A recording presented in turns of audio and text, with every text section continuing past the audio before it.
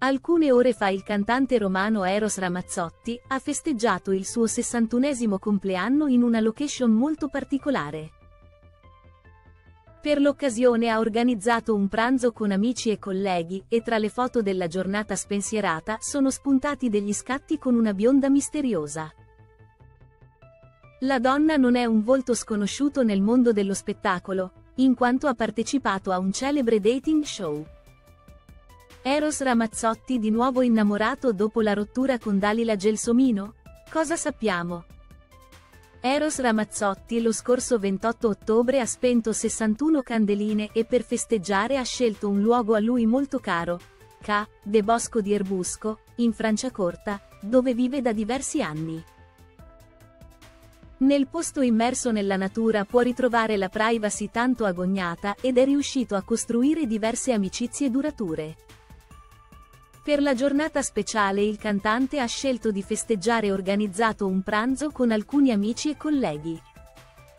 Nonostante l'artista non abbia condiviso neanche una foto dei festeggiamenti sul suo profilo Instagram, ci ha pensato la moglie di Max Pezzali, Deborah Pelamatti, a farlo.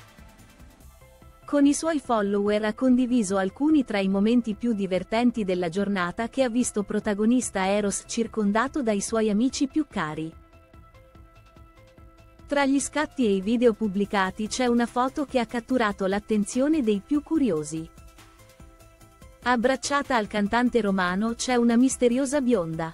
I due sembrano affiatati e complici e sul web si è creato molto rumore per cercare di comprendere chi fosse la donna del mistero. La bionda fotografata insieme al neo 61enne si chiama Natalia Angelini e non è un volto sconosciuto al mondo della televisione. Oltre ad essere un'imprenditrice, infatti, è conosciuta per aver partecipato al dating show di Canale 5 condotto da Maria De Filippi, Uomini e Donne, come tronista. La showgirl ha condiviso alcuni scatti della festa di compleanno del cantante romano utilizzando gli hashtag amici e friends. In rete, però, in molti sospettano che tra il padre di Aurora Ramazzotti e la donna ci sia molto di più.